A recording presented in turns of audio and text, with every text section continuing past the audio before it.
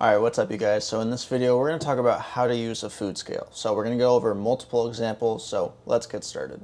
Alright, so right now what we have here is our food scale. Now there's multiple brands and everything. I use this one, it's very portable, light, skinny, very easy to basically store anywhere, okay? So on the right side we have our power button and or our zero button or tare button. So zero or tare, some food scales may be different. Basically, this just means to zero out anything that's on the scale. So for example, we're gonna turn this guy on, it's gonna do its thing, and right now it's in ounces. And we'll talk about like units of measurement in a second. But if I was to put this bowl on there, it should move, okay? So right now 11.1 ounces. Now, if obviously I don't, not, we're, we're not gonna eat this bowl, right? So we're gonna zero this out or tare it out. So depending on your food scale, it may differ, but I'm just gonna press this, and then it zeroes out. So right now it's only weighing anything that that's inside the bowl. So if I push on here, it's gonna weigh it, take it out, it goes back to zero. So that's what taring means. So let's go on with a couple of, of examples. All right, so let's, let's say our meal plan says that we wanna have 200 grams of potatoes per meal, okay?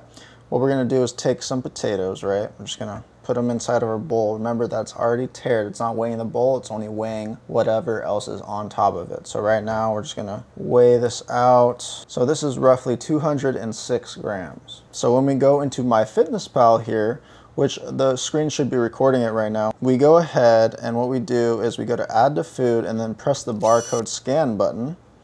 And then here, as you can see, I'm filming it right now. Here's the potatoes, 207 grams. We're gonna take our potatoes and we're gonna scan the barcode, okay? The serving size says 148 grams, however, we're measuring it differently. So what we do is we change the serving size to one gram, and then on the next number of servings, we, we put whatever it says on the food scale. So we're gonna put 207 grams, so 207, boom. So these potatoes that we just weighed out right here that you can see on the camera, this amount of potatoes is 140 calories, 29.4 grams of carbs, 0 grams of fat, and 4.2 grams of protein.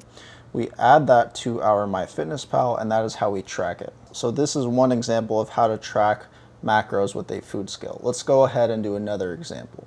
All right, so another example is with liquids. So right now I have some almond milk here, and so it says that there are 240 milliliters per serving, if you guys can see that.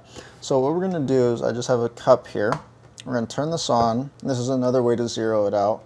So it's zero grams. So what we can do is hold the unit button. So the unit button changes obviously the units of measurement. So we have fluid ounces, milliliters, ounces, and grams. So for 240 milliliters, we're obviously going to switch it to the milliliters option, okay? So if we only want one serving of this, that's 240 milliliters. So what we're going to do, pour in enough until there's only 240 milliliters in here. So obviously you don't have to be this accurate. Okay, so 241 milliliters in this cup right here. So according to this, if we scan the barcode and everything, it would be 40 calories, 3 grams of fat, 1 gram of carbs, 1 gram of protein.